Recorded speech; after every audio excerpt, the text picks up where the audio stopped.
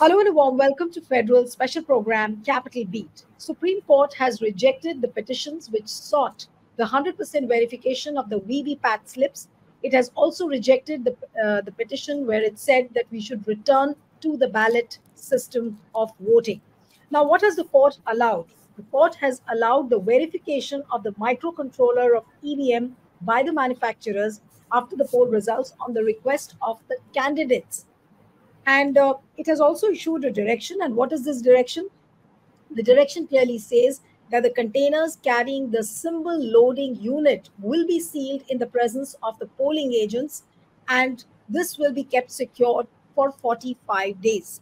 Now, uh, the bench of Justice Dipankar Gupta and Sanjeev Khanna categorically have rejected these petitions, issuing some directions saying that EVMs are simple, secure, and should be made user friendly. And if I quote Justice Datta, he has said that a trend, and this was uh, while he delivered the verdict, and I'm going to quote him exactly a trend has been fast developing of certain vested interest groups who have started undermining the achievements of nation. There seems to be a concerted effort to discredit and diminish the progress of this nation. The bench also has said that the petitioners could not establish that EVM violates the principles of free and fair elections.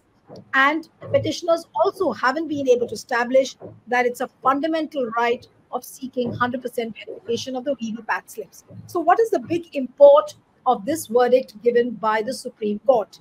And uh, as far as the voters' rights are concerned, as far as strengthening the election process in a democratic country like India is concerned, what does this verdict really mean?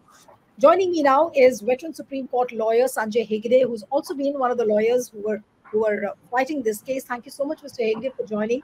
And uh, your first thoughts at the verdict which has come, because generally there is a feeling that as far as the voters' rights are concerned and strengthening the voters' confidence, uh, the, the verdict uh, stops short somewhere, you know, as far as these points are concerned. Well, nobody is ever satisfied with the verdict sometimes not even the winners are satisfied. And uh, courts then take it a, uh, as a signal that they have, uh, if that if there are two dissatisfied parties, then they have done uh, complete justice between the two. But having said all that, uh, the thing is that there has been a quite a degree of uh, uncertainty about the system that the system ha- uh, since its inception has somehow been gamed. Uh, very many suspicions existed. Those suspicions came to the court. The court says that there is not enough proof of any of those suspicions. The court went into the fact that uh, even with sample uh, VVPAT uh, checking and all that, nothing, uh, nothing really has been shown to have gone wrong. And the court uh, essentially uh, said that whatever the ECI has been doing so far is correct, and it does not propose to uh, double guess uh, what the election commission has been doing. It has, in its own way, added a few more safeguards with regard to the symbol loading units, which were uh, previously running fancy free. Then uh, it's also said that people have the right to check that the microprocessors themselves have worked properly. And uh, this checking can only be after the election. The challenger will have to pay for the cost of the checking.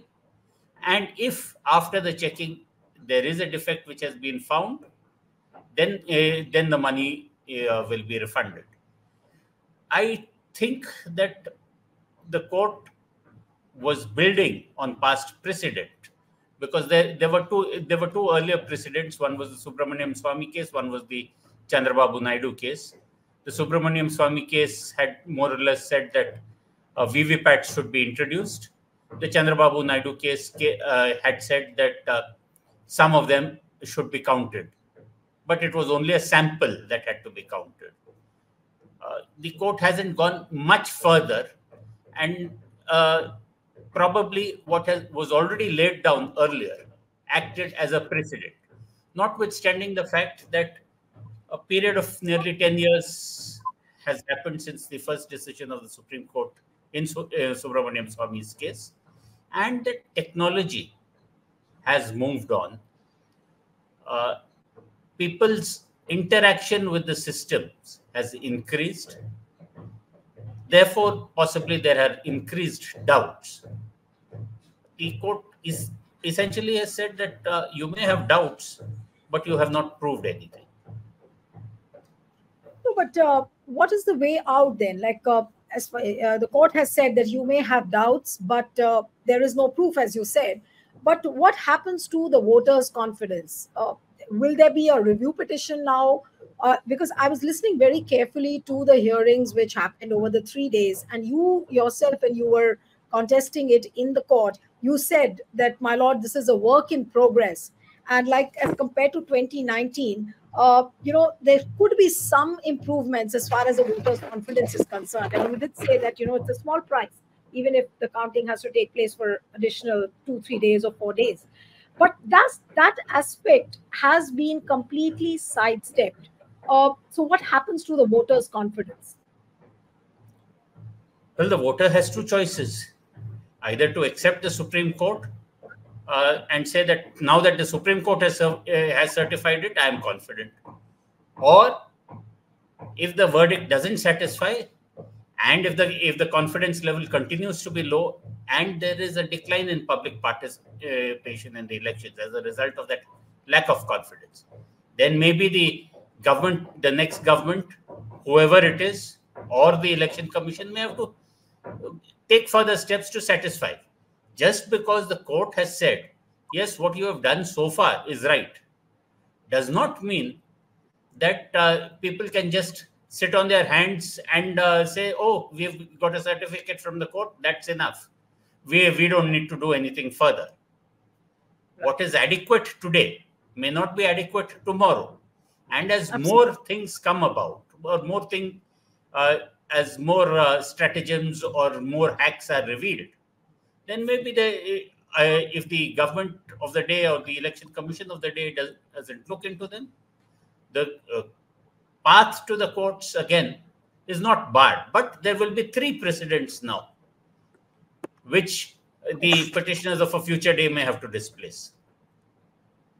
Right. But uh, Mr. Hegde, uh, the, the, the, larger import of the verdict is uh, that apparently the Supreme Court is telling the voters that you don't have a choice and you will have to live with the EVMs, whether you like it or you don't. Is that the message which is given by the court? Well, to it, it that can be one interpretation. See, the thing is that uh, the paper ballot had its own shortcomings they, uh, we, we had instances where booths and entire uh, uh, voting stations used to be captured and things like that. So the EVM, which says that you can't have more than four votes cast in a minute, uh, acts as a check. The counting of votes becomes easier in an EVM. All the there are several factors of convenience which uh, uh, which uh, make the EVM not constitutionally impermissible. But the question as to what should be the extent of citizen participation. Should the citizen not have a tactile feel of voting? The, uh, after all, the little man in the little booth marking his choice. That was the base of uh, um, uh, elections for a very long time. Whether or not to return to that is not a question where uh, where courts can decisively rule one way or the other. The court has not said that you will never return to the paper ballot. Mm. If the people determine and if their will is translated by government action or by election commission action that no, we shall return to the paper ballot, then I don't think the courts will come in and say, no, no, no, no, you have to go in only through the EVM route. But what this judgment has said is that the EVMs are a perfectly rational uh, scheme of doing things. They are not unconstitutional. And uh, we, uh, with these safeguards, we've made it even more safe. Right. But uh, whatever safeguards which uh, the directions which the Supreme Court has issued, does it address the basic premise of the entire petition that the EVMs could be tampered? Now, will the voter be 100% confident that yes, the EVMs cannot be tampered? Because just because the Supreme Court has given these directions, your symbol loading unit is sealed. So, uh, are we 100% sure that the EVMs cannot be tampered now? You can't be 100% sure of anything in life. And between could be tampered and are tampered, there is, there is a huge, uh, huge gulf. And that gulf has not currently been bridged. No, but? But I'm not it, saying I'm not saying that at a future point of time, if somebody can conclusively show that this is how EVMs can be tampered, this is how EVMs have been gamed, and this is how uh, this is how uh, the result has been affected in the following uh, elections. That kind of evidence they will then force uh, both the administration and the courts to take a relook at the current stage, what has been produced did not warrant a relook. The other thing that I think that the court uh, possibly got wrong was that uh, hearing it so close to the 2024 general elections took a lot of options off the table. Now, so just suppose the, the court had said, no, no, no, these EVMs are wrong. We shall have only paper ballots. Then effectively that would mean uh, postponing the elections because the entire uh, uh, paraphernalia would have to be reworked in a very major fashion. votes, ballots would have to be printed and things like that. So, therefore, when you had this hearing and the judgment so close after uh, uh, one round of the polling had already taken place, I don't think we could have expected much more than uh, safeguards being enhanced. And, and so one of the arguments made in court was that please don't take this as a final full stop in the process. And then it was in that context I, I, I told them that uh, uh, there is a lot of learning to be done and a lot and a lot of uh, uh, progress which often happens from election to election.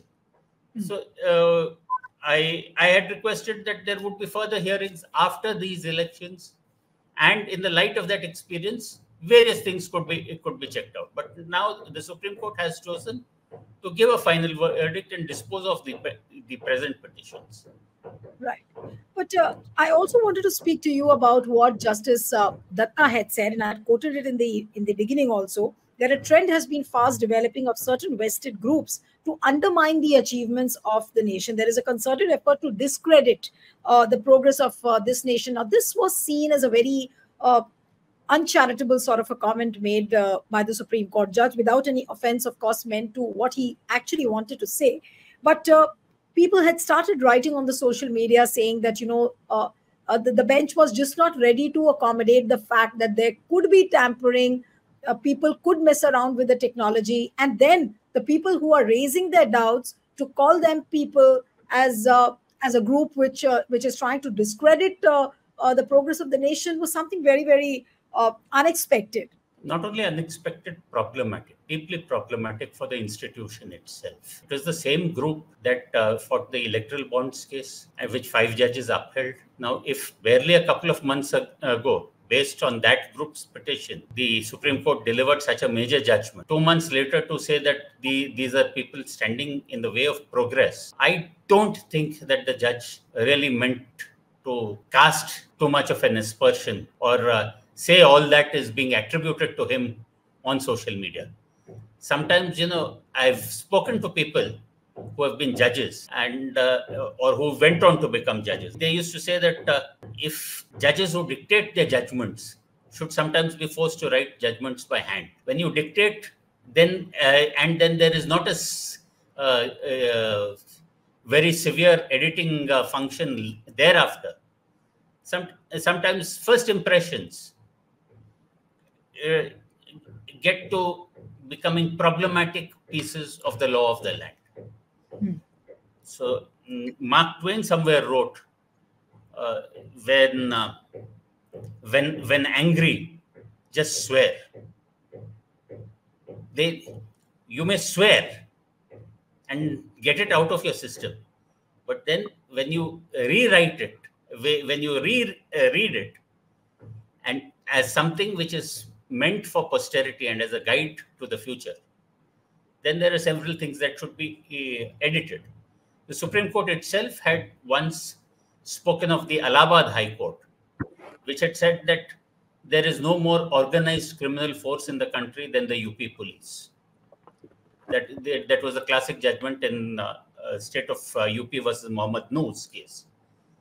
And the, the Supreme Court had castigated the Allahabad High Court, and it was the great Justice A.N. Mulla who had written that judgment and said that courts should not use harsh language. So sometimes uh, these messages are uh, uh, forgotten and this kind of shooting the messenger becomes counterproductive to the institution. You must remember that uh, it was uh, the same Justice Datta who had a, a, problem with what was written in the Teesta Setalvad case. Yes. That's right. So at, at best, you can say that the petitioners are mistaken. And, and we think that they unnecessarily took the time of the court. That's it. Yeah. That's beyond, right. Beyond that, uh, I don't think uh, uh, anything is called for. No, you're you're right. And, and why I asked you this question, particularly, Mr. Hegde, was that you know this judgment comes at a time when we see an election commission which is uh, which has almost at least looks like in a completely surrendered mode before the government. Uh, it, it's uh, just not taking any action against the ruling party, and then you have a judgment like this, which uh, which favors, which at least seems to be favoring and abetting the cause of the government. So, uh, wouldn't have wouldn't it have been right on the part of the court to at least issue some kind of an assurance in terms of the direction, so that you know the voters' uh, rights and also as far as strengthening the electoral process in a democratic country is concerned, uh, maybe there were there could have been some lines as part of the judgment to to uh, to uh, give this sort of an assurance, or maybe I'm expecting uh, too much from the from the bench. No, you as a journalist and as a layperson are entitled to have many expectations. We as lawyers may have other expectations, and as men and women of law, whether on this side of the uh, bar or that side of the bench, anybody can always, uh, with hindsight, say, no, no, if I was there, I would have written X or I would have written Y. Uh, the thing is that, you know, we I often think that we lawyers have several chances to get our submissions right. What may, what doesn't find favor with one set of judges at a later uh, date can find favor with another set. But judges, especially in the Supreme Court, barely have a five-year term, mm. and they have to get it right all the time. So sometimes they don't get it right. So, uh, how does one look in the final lap of the questions? Uh, what does this final verdict look like? Of course, it leaves a room uh, for the people, for the civil uh, civil uh, society groups to, you know, maybe start another public move, uh, public movement, and then come back with another PIL or another case in the Supreme Court. But what is the larger import of this third part of this entire series of what we have just seen from the Supreme Court verdict coming out yesterday? the Supreme Court has basically said that what has been done so far is good. We can keep strengthening it, but we cannot indefinitely keep uh, uh, keep uh, hearing uh, fanciful fears or suspicions without solid, concrete evidence. Now, this is a kind of catch 22 situation. You can have doubt, you can have suspicions, but many things can't be proven unless there is a willingness to open out. You, even the election commission, uh, during the hearing, the court itself said that you know many of these doubts that they are raising, you are answering now. Had you answered it earlier in the public domain, all these questions wouldn't have come to court. Right. So there is uh, institutions have to be have to open themselves out to scrutiny and audit that would that is possibly the way to go and there should be continuous audit and the desire for audit and safeguards can certainly not be seen as impeding the progress of the nation. Hmm. that's right. Nations uh, uh, you know progress more when its citizens hold institutions up to great scrutiny. Right. But also this line coming from justice datta saying that you know uh, you cannot distrust a system. Now, is the court trying to tell the people that people who are coming with doubts, people who are coming with certain suspicions in their mind, and if they approach the court, they do not have the right to do that? I mean, I, I, I completely uh, read the verdict like that.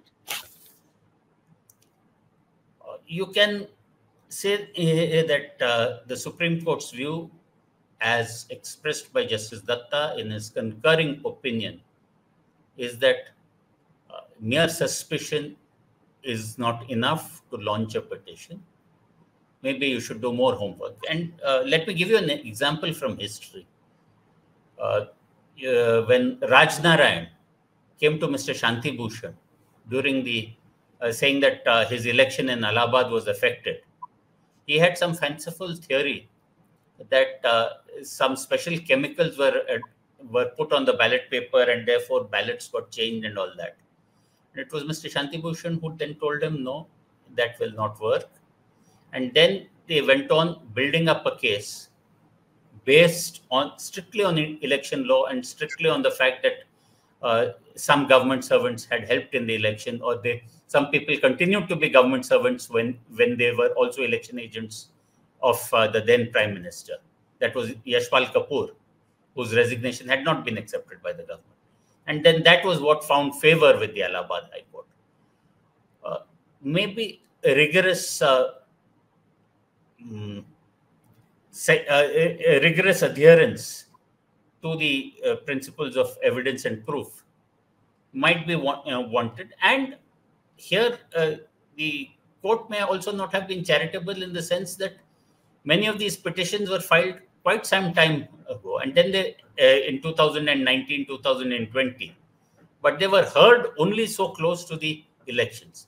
I would, I would like to see well-researched petitions being heard without the pressure of an, an immediate election.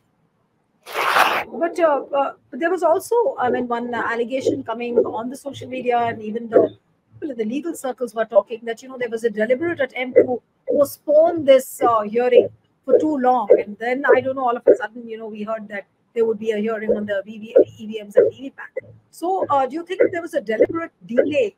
Uh, do you sense that that kind of a of a doubt in your mind? Uh, well, whether deliberate or not, there was a delay. That can't that can't be uh, uh, explained away but often it's a question of priorities. Hmm. There are so many cases where uh, it, the people at the receiving end want an early hearing, but uh, as I told you, the Supreme Court uh, has judges who are there barely for five years, three years, and there's a constant series of retirements. Okay, to set aside a specific amount of time for one for one matter alone. Uh, sometimes, unless the fire is almost close to the forest, uh, mm. Kind of corrective action doesn't happen. So I, I think it you know, on the whole it was a positive that the matter was heard, even though close to the elections. Uh, the process of hearing also was conducted in a manner so that many of the country's doubts were aired, if not addressed. So it, it is rare that uh, the election commission's uh, representative coming out on a platform which was open to public uh, view and explaining how the process worked. I'm sure that the citizenry of the country at the end of the day has now been more informed, if not fully satisfied. Absolutely. You're right, sir. And uh, I, I, think we'll have to just uh, wait and see how these things unfold. But for now, at least, Supreme Court has said that whether you like it or not, but you have to live with the EVMs till the time maybe we do not, I mean, we, we see another petition being filed in the Supreme Court. Thank you so much, uh, Mr. Hegde, for joining on the Federal. And one appeal to the viewers who are watching this interview, subscribe to our channel, send us a feedback, and stay tuned to the Federal. Thank you.